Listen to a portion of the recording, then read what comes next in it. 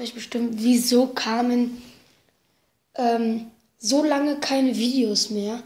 Ähm, der Grund ist, es kommt ein Riesenprojekt. Über dieses Projekt werde ich in diesem Video reden. Es geht sich um Minecraft. Ja. Und zwar werden wir, also ich, in einer Welt einen Neuaufbau machen. Ich habe da aber ein paar Mods drin, dass es da zum Beispiel Burgen gibt. Ihr kennt das vielleicht von anderen, dann sind da so Spawnen. Spawner, da muss man gegen Zombies als Beispiel kämpfen und kriegt dann irgendwas. In Truhen. Da ist es ein bisschen anders, da sind auch Spawner, da kämpfen auch gegen gewisse Sachen. Und ähm, ja, da kriegt man aber keine normalen Sachen, sondern kriegt man zum Beispiel einen Eisenblock. Da ist dann ein Problem, dass man das alles abbauen muss. Und so fand ich das dann halt ein bisschen spannender.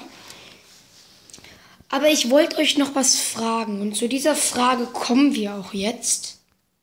So, und zwar ähm, werden wir für dieses Projekt ähm, Skins, einen Skin auswählen. Ihr könnt in den Kommentaren schreiben, ihr seht ja hier die Namen.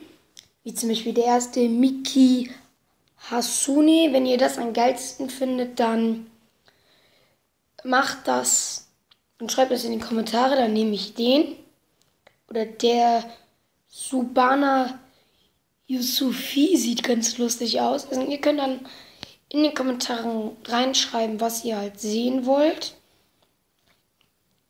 Und ähm, ich werde diesen Charakter nehmen, falls niemand schreibt, werde ich mir ihn selbst aussuchen. Und ja, wenn einer in den nächsten Videos reinschreibt, dann den ändern. Ich hoffe aber, ihr macht das hier direkt reinschreiben. Hier diesen Mega Knight. Der sieht so ganz geil aus. Den hatte ich schon mal. Der ist richtig blöd. Lol. Tigrinch ist auch irgendwie lol.